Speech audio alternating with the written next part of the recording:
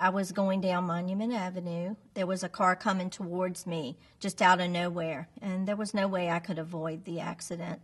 I was in shock. I think if you're in an accident, you really should get a lawyer. I chose Emroch and Kilduff, and Mr. McNally was was my lawyer there, and he was awesome in the courtroom. He really was. He was right there with me the whole way. It's my life, and Emroch and Kilduff is my law firm.